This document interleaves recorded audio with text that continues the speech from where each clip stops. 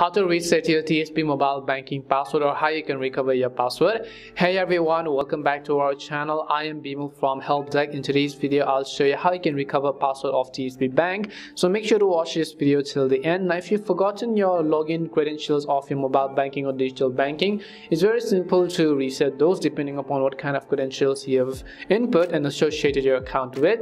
So open up the TSB Bank app. Once you open the TSB Bank, you will see this kind of interface. Now, if you don't have an account then you can tap on login register. And since you've forgotten our password and we want to recover it we're going to go to the login page from the bottom of the screen. Once you go to the login page just agree to the terms and conditions tap on continue. Here if you remember your credentials you can enter your user id set up and then your password in order to log into your digital banking.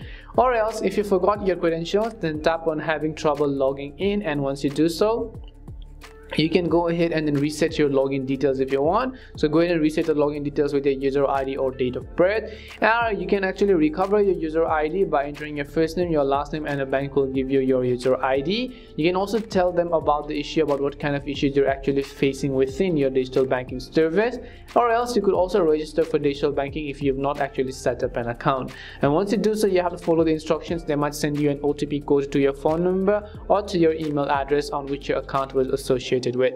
That's all it takes to recover or reset your login details of your TSB Bank mobile banking. We hope the video was really helpful and if it did help you, make sure to leave a like and subscribe to our channel. If you've got any more questions, queries or doubts, make sure to also leave them down. Thank you very much for watching and see you soon in our next video.